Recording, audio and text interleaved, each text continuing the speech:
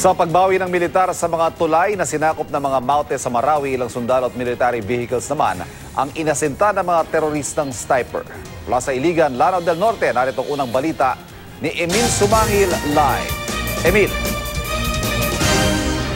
Ivan, tuloy ang uh, military reinforcement dito sa Marawi City para pulbusin ang Mauti Group.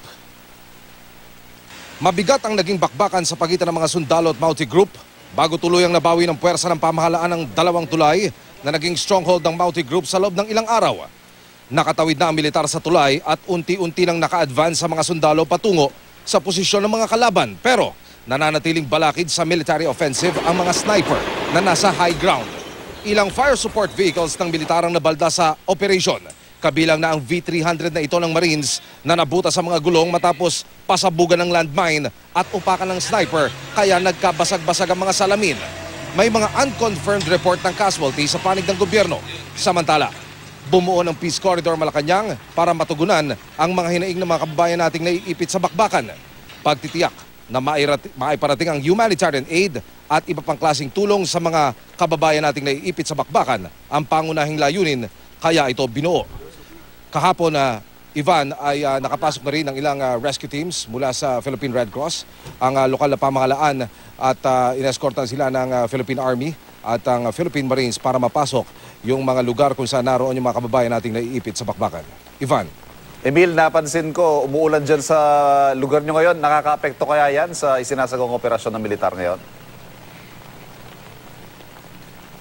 Dito sa Iligan City, ngayon lamang ah, Ivan ah, nag-ulan ng ganito kalakas mula nang tayo dumating pero doon sa area ng ah, Marawi City, parang gano'n na ang panahon doon na Ivan kada hapon bumubuhos ang napakalakas na ulan pero hindi ito nagiging hadlang at balakid para sa military offensive na isinasagawa laban sa Maute Group. Ivan.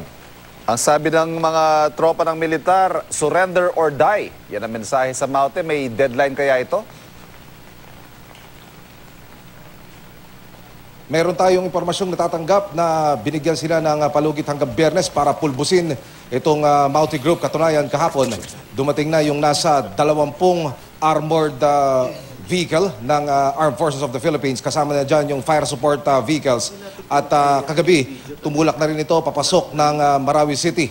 Ito yung ah, mas bahagi ng mas pinalakas na military offensive na isasagawa dito sa Mauti Group. Ivan. Paano yung ah, military offensive sa gitna ng impormasyon na may mga hawak na bihag itong mga kalaban?